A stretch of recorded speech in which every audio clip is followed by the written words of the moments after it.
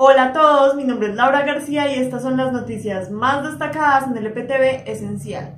Para comenzar, Consejo de Manizales aplaude la petar pero pide celeridad. Satisfechos con el proyecto y con el beneficio que traerá para Manizales la futura planta de tratamientos de aguas residuales y preocupados con la demora para que se inicien las obras civiles.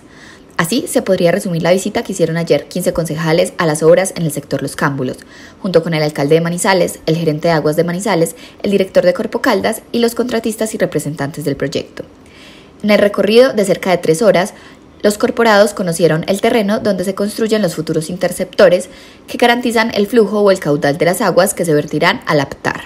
Dudas de la causa de muerte de estudiante en colegio de Manizales. Una mamá me dijo, mucho cuidado con el niño porque el golpe que le pegaron no fue cualquier cosa.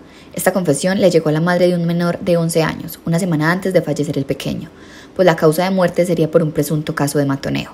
Sin embargo, la señora agrega que el acta de función precisa que fue muerte natural por sinusitis acumulada. Todo empezó el 14 de febrero, cuando mi hijo llegó a casa y me dijo, me pegaron con una puerta, pero no lo dijo a modo de agresión, sino que los demás niños eran muy canzones.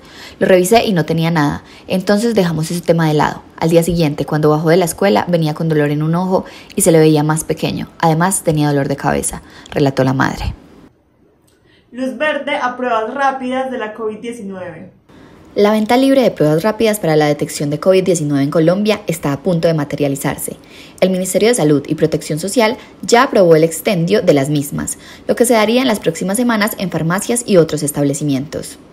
Once Caldas tendrá mañana una novedad ante Millonarios. Una novedad tendrá el Once Caldas mañana para enfrentar a Millonarios. Es la fecha 11 de la liga. Danovi Quiñones por Robert Mejía. El resto será igual al que ganó el clásico del Pereira calzadas de la calle 64A en Bella Suiza cambiarán de sentido. La Secretaría de Movilidad de Manizales informó que mañana, jueves 17 de marzo, desde las 9 a.m., las dos calzadas de la calle 64A en el sector de Bella Suiza tendrán sentidos opuestos. La calzada aledaña a Carabineros operará de bajada y la contigua al conjunto Robles de Bella Suiza tendrá sentido ascendente hasta conectar con la avenida principal de la Sultana. Con esta medida se busca que los conductores y habitantes de la zona tengan una circulación fluida hacia la avenida Kevin Ángel y los barrios La Toscana y La Sultana. Y eso fue todo por hoy. Para más información visite lapatria.com y no olvide seguirnos en nuestras redes sociales. Estamos en Instagram, Twitter y TikTok como La Patria y en Facebook como La Patria Manizales. Hasta luego.